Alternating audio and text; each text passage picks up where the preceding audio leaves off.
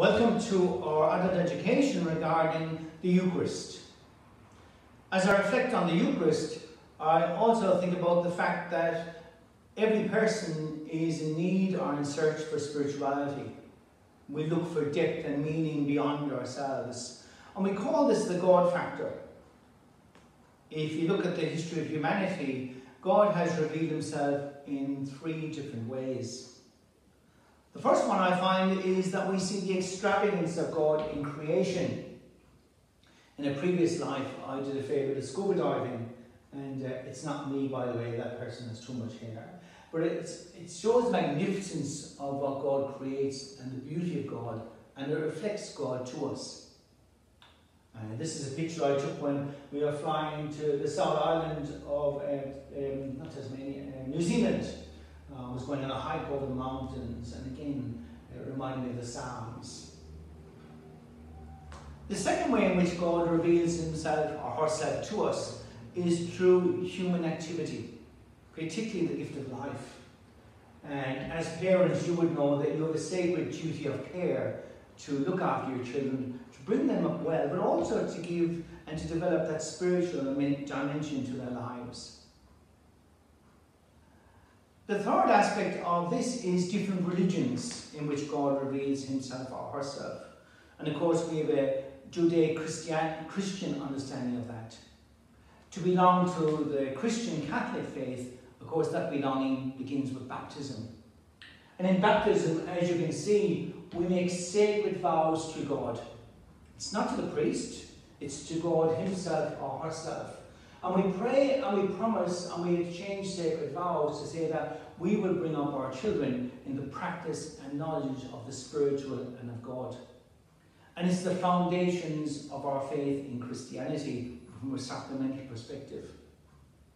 After baptism, of course, we have reconciliation, which we're not going into today, but we have the Eucharist. The Eucharist itself, which we'll talk about over four sessions, this is the first one, it's a sacred liturgy. And it really is, is where we manifest the sacredness of the Holy Spirit. And the reason why we come to Mass and ask people to come to Mass is so that their spiritual aspect of their lives is developed. We manifest the Spirit, the presence of God, and we ask that that presence may be increased within us and fortify us in the world in which we live. So if we come to Mass and we sit there asleep or bored or thinking about lunch, then that aspect doesn't take place because we're not being part of this conversation between God and humankind.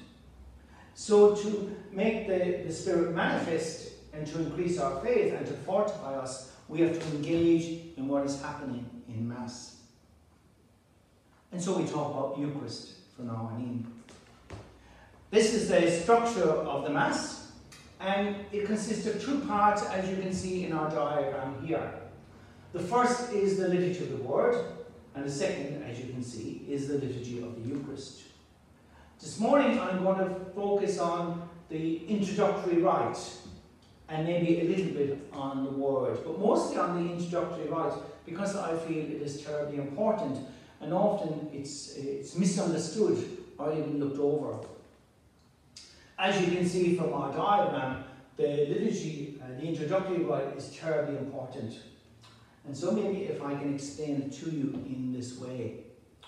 We come to Mass and we gather and so we pray. And as you know, the priest walks down the aisle, kisses the altar, etc. And he prays and he says, In the name of the Father, the Son, and the Holy Spirit, Amen. The grace of our Lord Jesus Christ, the love of God, and the communion of the Holy Spirit be with you all. So what I want to do now is break that open for you and maybe explain it in a better way. The introductory rite consists of, obviously, an introduction, a penitential rite, and an opening prayer. The introduction is where the priest welcomes people on behalf of God. And as I said, the first thing the priest does is bless himself. And the blessing is a real statement. As I said, it's in the name of the Father, the Son, and the Holy Spirit. And then we have the grace of our Lord Jesus Christ, the love of God, and the communion of the Holy Spirit be with you all. I just want to break that open a little bit and explain maybe some of the depth involved. We start with the second one, the love of God. Well, that's manifest. We saw the three revelations of God, which I talked about at the beginning. The grace of our Lord Jesus Christ, another word for grace is gift. So we have the love of God, we have the gift of Jesus Christ, which we're going to celebrate in the Eucharist. And then we have the communion of the Holy Spirit. I find communion an interesting word. In the old liturgy, it was fellowship. We use the word communion, but actually you have to go back into the Latin, and the word is communitas. Communitas in the Latin is interesting. It says that which binds us or unites us at our deepest core. If I were to ask you what does it mean to be an Australian, you probably couldn't verbalize that too easily. It would be difficult. And yet you know you are at your deepest core. It's, it's part of your identification. It, it molds you and shapes you, and it's just natural. It's who you are.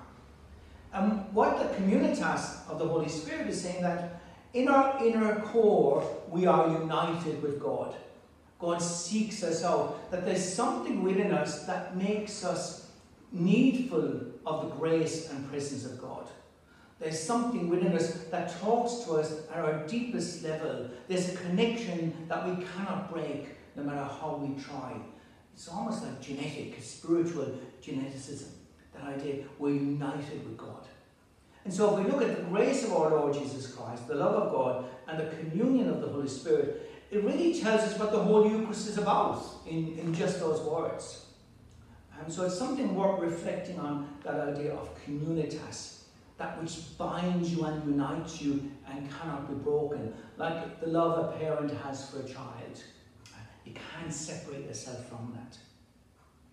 When we look at the, um, the penitential rite itself, it's interesting because it comes in three sections, usually. The penitential rite can manifest itself in different ways. We can use silence, we can use symbols, we can use water, we can use a song, we can use whatever we like actually for the penitential rite. But usually at Mass on Sundays, what we have is the three prayer. Um, Lord of mercy, Christ of mercy, Lord of mercy. So, and what that's doing, it's telling us that we need to reflect on the past week and let it go. A good example is uh, that idea that often I know myself, I'm not the best in the morning. And I would imagine that some parents can be cranky in the morning as with some children. It's part of being human. And when we come to Mass, we need to leave all that baggage behind. All that stuff that uh, is naturally part of who we are. And so the penitential rite invites us to get rid of that. And, and God is saying to us, that really doesn't matter. That's just being human. So a penitential rite might be, just for an example, Lord, we ask for the gift of peace in our lives. Lord, have mercy. And everybody responds by saying, Lord, have mercy. Lord, we ask your blessings on the gift of, of struggle that we might find, that that struggle might give us hope and perseverance. Christ have mercy. And we all say, Christ have mercy. And Lord, we ask your blessings upon us for the future week. And we say, Lord, have mercy. And then we say, May Almighty God have mercy on us, forgive us our sins, and bring us to everlasting life. After that, we have the opening prayer, which I'll talk about in a minute. The penitential rite is interesting because what it is, and most people don't understand, is it's about coming into the presence of God. And often those things that annoy us and drive us mad about ourselves and about others, we can bring them to Mass on a Sunday and they stop us from being present. As I say, it might have been the row we had in the morning. And so the penitential rite invites us to stop so we can hear the word of God. The other aspect of the penitential rite, which I'll go to here, if I have it right, there you go. Um, again, there's another example here. Lord, we have sinned against you. Lord, have mercy. Lord, teach us your ways. Christ, have mercy. Lord, send us your blessing. Lord, have mercy. May Almighty God have mercy on us, forgive us our sins, and bring us to everlasting life. What you'll notice about that is it's conversational. So Mass is not about private prayer. You can do that anywhere. Now, part of Mass is, don't get me wrong, and there's parts where we need to be quiet and reflective. But this part isn't. This part is a welcome and an introduction, and it's a conversation. So if you look at it properly, it does a few things. It invites us to belong to each other. If you notice, it's all plural. Lord, we have sinned against you. Lord, teach us. Lord, send us your blessing. May Almighty God have mercy on us, forgive us our sins, bring us to everlasting life. Interesting, it's plural. And it's a conversation between us and God. And it's really telling us there is no shame, we're all the same. And I think that's very, very true. So the penitential rite is, its function is to let go of those ordinary things, to come into the presence of God, and to prepare ourselves to hear God's word. Now, if we rush into Mass and the penitential rite is almost over, we miss that. And we miss that aspect and that ability to be quiet and still. And our mind settles probably after the gospel. And so we miss what the word has to say to us. What we do, so it's very important that people come to Mass on time and early. I say that time and time again. And this is why. Because you miss so much of this of being still, connecting with God, and letting go of those ordinary things that we all commit so that we can hear what God has to say. Then we say, let us pray. And a prayer might be, Lord, we ask your blessings upon us. Notice the plural again. We ask that we may be people who bring joy and hope for each other. Forgive us failings and grant us your peace. And we make our prayer through Christ the Lord. Notice it's all plurals. And notice what it does is the, the opening prayer, it closes the introductory rite and it opens us up to listen to God's word. So it's a bit like a swivel joint. It does two things. And that's terribly important because now that we've been still, we've quietened ourselves, we've let go of the week, we're now in tune to hear what God has to say. And so we open up now to the liturgy of the Word.